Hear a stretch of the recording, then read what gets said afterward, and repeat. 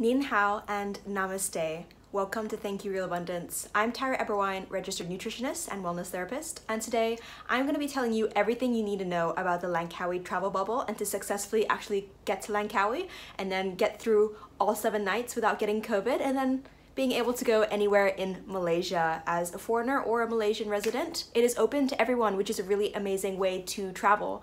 I love this idea that, you know, you don't have to, you know, be stuck in a hotel room for 14 days, 21 days, 7 days, however it, how many days it is in that country. Uh, Malaysia has been testing out and very successfully executing this uh, Langkawi travel bubble, which is really amazing. Long story short, whether you're a Malaysian or a foreign resident, you don't have to have a Malaysian passport. You can apply to the Langkawi travel bubble go to Langkawi. Langkawi is a beautiful island. It is north of Malaysia. Well, the north part of Malaysia. It's actually almost into Thailand, actually closer to Thailand than it is to Malaysia, which is quite amazing. I, I love Thailand as well. So um, yeah, so it's North, uh, North Malaysia and it's uh, a beautiful, beautiful island. And on this Langkawi travel bubble, you can spend well, you have to spend your quote unquote quarantine on the island and you can go anywhere on the island, anywhere in your hotel. You're not stuck in your room.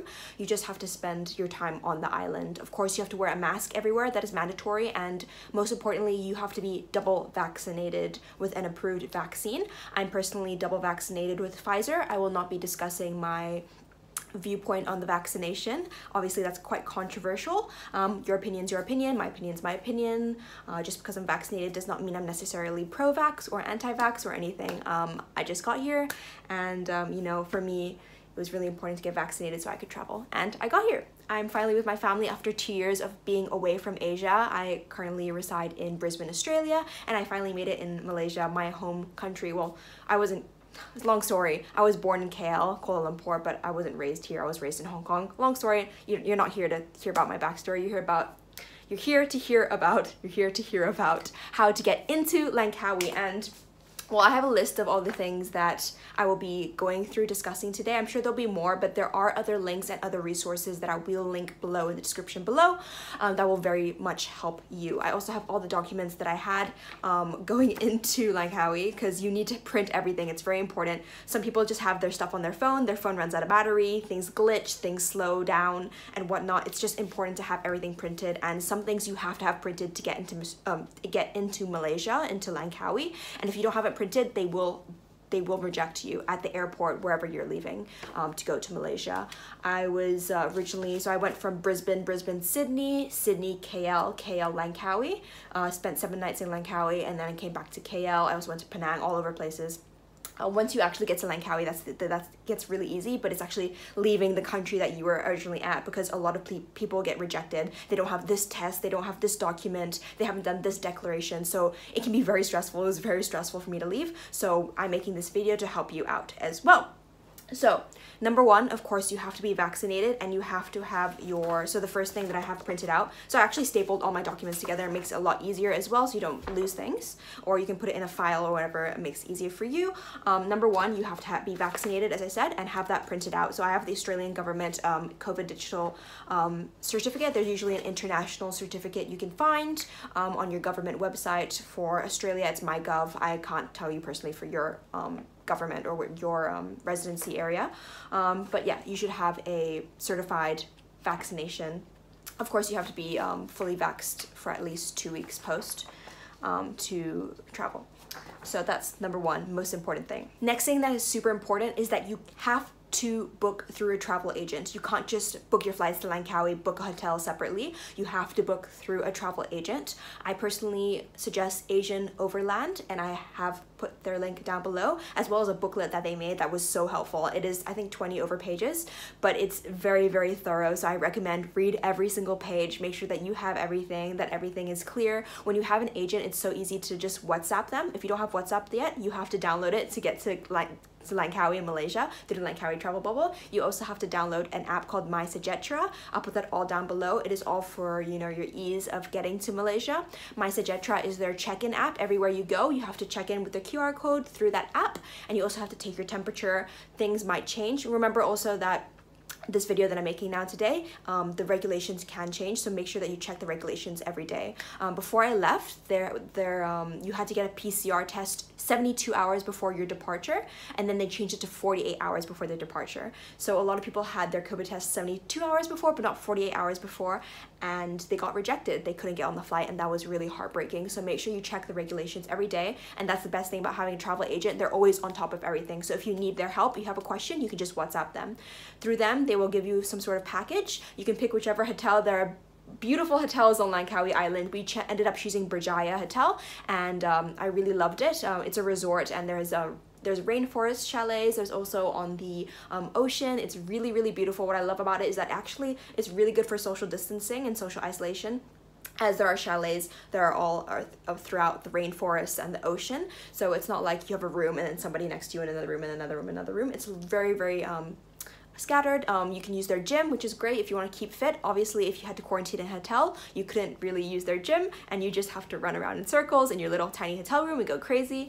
Uh, luckily, in Langkawi, you can go wherever you want. You can run outside, run through the beach, go to the gym, go to the pool. Um, of course, wearing your mask, social distancing as well. And you also have to take a COVID test every single day, which is another whole nother topic, and that's really fun. Um, they originally wasn't every day to take a COVID test, but due to Omicron and be being so contagious, you have to take a COVID test every day. So once you've picked your travel agent, you've picked your hotel, there's a whole range from very cheap to very expensive. I picked Berjaya, as I said. It was in the middle pricing, which was really great. It came with a breakfast buffet, as well as a one day mangrove tour, which was so fun. You can all watch this, um, watch all my adventures on Langkawi, on my Langkawi Travel Bubble vlog, where I just have fun uh, quarantining. It's such a great thing and I feel like every country should do it if they have some sort of island that they can actually execute this on. So what are the COVID tests that you need? Of course, you need the PCR test 48 hours before your departure uh, for leaving your country to go into Malaysia. And then when you arrive into Malaysia, you also have to take a PCR test on arrival in the airport. What's really cool is that once you've booked through a travel agent, when you fly into KLIA, Kuala Lumpur International Airport, when you literally leave the plane, there will be someone standing there with a list of names of all these people going to the Langkawi travel bubble and your name will be on it through the travel agent. So I just saw my name and I was like, great. You just follow that person. They'll bring you to the dedicated area for the people for the Langkawi travel bubble. And it's this beautiful new lounge. And I love about what I love about this travel bubble is everything's very, very organized. So there's this beautiful lounge they just made. Um, you take your PCR test. You can either book online, which I'll put the link below, or you can pay on arrival. It doesn't really matter and then you can there's two choices you can do the one hour one or the three hour one obviously the three hour one wait it takes um it takes longer and it's more expensive. Luckily for us, our flight arrived at 4 a.m. Even though we did the three hour one, it came in an hour. So it really depends on how many people are arriving at that same time and using the, those resources, the health medical um, PCR testing.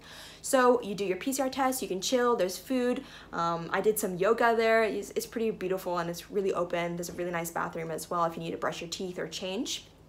Once you get your PCR test back, hopefully it's negative. Make sure you're wearing your mask, cleaning your hands, practicing social distancing while you're traveling, tra actually getting to there because um, you don't want to get COVID, obviously, or else you actually do have to quarantine.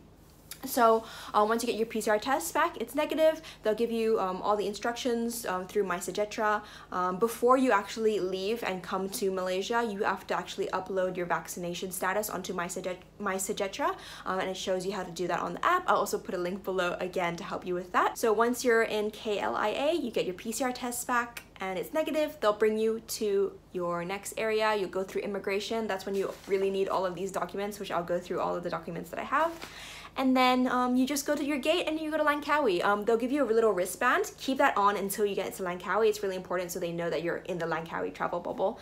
And that's pretty much it um, once you actually get there, which is really great. Once you, once everything goes through and you're actually in Langkawi, all the stress is just off your shoulders. In terms of COVID tests, so you have that PCR test before you leave, PCR test when you arrive, um, and then you alternate with RAT, rat tests, which you can buy yourself and you just put the saliva, it's on the little thing. Um, and that you have to take a picture of the QR code and upload it to the iMedical website, as well as um, put the self-test through MySejahtera. It's all in the app. It's pretty self-explanatory when you actually have it. Um, and then every other day you have to do a PCR test. Now we did the PCR test at the testing station right next to the airport in Langkawi. It's really um, it's really convenient and efficient. You can book online. Otherwise, there are many there are many testing places on the island. And the best way to do it if you don't have your own car and you don't want to walk in, what you can do is you can get a Grab. A Grab is kind of like an Uber that is in Asia. That's the app and the company. Basically, you call a Grab, um, put tell them that you want to go to that area um, and they say that you're doing your testing go through do the drive through and then drive back um, and then um, yeah that's pretty much it it's pretty pretty easy. A lot of the Grab drivers understand what the Langkawi travel bubble is and they're really happy to bring you to the testing area. Of course, you just have to be, um, you know, hygienic. to say the least, of course. You don't want to be giving anyone COVID or getting COVID. So my friends, let's go through all the forms that you need. Very, very important the PCR test you get before um, you leave your country to go to Malaysia, you have to print it out. It's mandatory. I know a lot of places and a lot of places where you travel to just require you show them their your email, the text, you have to print it out. If you don't print it out, they're not gonna let you on the flight. So please print it out. Very, very, very important. Next thing is, of course, you need your vaccination status. You need to be double vaxxed. Next is to print out all your flight itineraries. If you are not Malaysian, you must book your flight out of Malaysia back home or back wherever you're going. You have to have that ticket to leave, obviously, or else they will think that you're gonna stay in Malaysia illegally. So you have to have that booked. I didn't have that booked because I'm Malaysian, so I didn't need that. Another thing you need if you're not Malaysian is you have to have insurance. You have to have travel and COVID insurance to cover 80,000 US dollars. We personally used Go Insurance. I'll also put that in the description box below. Uh, we meaning my partner who's Australian and my stepbrother who's Australian. Uh, of course, I don't need insurance, again, because I'm a Malaysian resident or I have a Malaysian passport. The insurance is not too expensive. It was around 100 US dollars for covering the whole month, covering $80,000 in case you get COVID, you need to quarantine, something bad happens. So this is really important even if you're traveling before COVID times anyway. So yeah, highly recommend you go for Go Insurance. It's great. Again, I'm not sponsored by anything that I mentioned today, including my travel agent or the insurance. I'm just sharing what I was using and it was really helpful for me, so I hope it's helpful for you. Same with Berjaya. It's not like they sponsored me or anything, the hotel. Um, they were just a really, really great hotel. Highly recommend. It's a beautiful place and it's not too expensive um, in terms of a five-star resort. Next form you need is the health declaration form. A lot of people have trouble finding this. I heard from the lady that was checking us in that one person got rejected because they couldn't find the health declaration form. You can find this on the Malaysia Airlines website. I'll link it down below. Um, you just fill it out, basically ask you basic health declaration questions um, like have you traveled, do you have any symptoms of COVID and whatnot. Next, you must print out the agenda that the travel agent has booked out for you. Um, usually has your, you know, your arrival date, um, what hotel you're going to, who you've been discussing, what tests you have to take. For example, um, you have to take the RTK antigen self-test on day two, and then you have to do the RTK antigen test professionally and then by yourself and then professionally and then your PCR test. Basically, it tells you what tests you have to do every day, which day you're doing your mangrove tour, which day you're leaving, what your flight is back to KL or wherever you're going in Malaysia.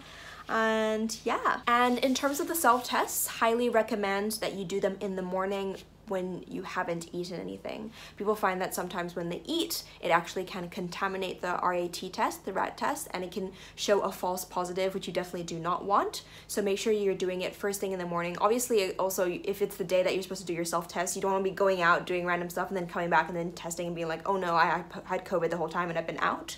So always do it first thing in the morning before you've eaten. You also want to print out the license of your travel agency just to show that it is legit and that you have booked through a proper travel agency seat and yeah, that's actually all the forms that I have. Other forms you might want to print out are basically your birth certificate, passport, IC, just copies of those just in case, as well as any emails that you've been doing um, to and from the travel agency, just to show that you have been discussing any confirmation emails for your flights, for your hotels. Those are very important as well, just so that they know that you have somewhere to stay and that everything is organized for your stay in Langkawi. Lastly, in terms of visa, obviously I'm Malaysian. I do not need a visa.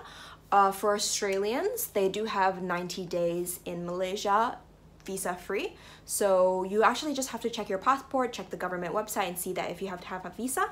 Um, you have to have a My Travel Pass if you're going to Malaysia, not via the Langkawi travel bubble. So if you are doing a Langkawi travel bubble, you do not need a My Travel Pass, so don't worry about that either. So just to recap, make sure to print out all your forms, please. Get a great travel agency, book a beautiful hotel to enjoy yourself while you're there. Wear a mask all the time, keep washing your hands, maintain social distancing.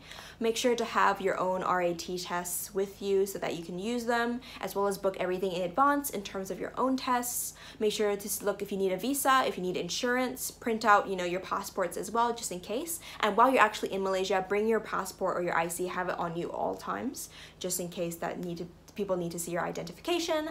Download WhatsApp, MySejahtera. I know this is a lot of things actually now that I'm actually speaking it out. and of course, you need to be vaccinated. That's very important, or else they're not gonna let you in without having to quarantine or let you in to the Langkawi travel bubble in general. Langkawi is a beautiful place, so just see this as an opportunity to have a, a holiday, pretty much a holiday, uh, and then go be able to go into Malaysia. I know people, a lot of people are using this as a way to visit their family in Malaysia, or perhaps go to a different country after Malaysia. Um, it's a very great opportunity to quarantine without actually having to quarantine in a room. So I hope this helps. Uh, as I said, I'll put all the information in the description box below. If you have any other questions, please do not hesitate to comment down below. I will reply straight away or just DM me at Tyra Abundance on Instagram. All the best with your travels and enjoy Langkawi and Malaysia, truly Asia. It's really a beautiful country and island as well. So yeah, hope this helps. Uh, like, comment, and subscribe, and much love.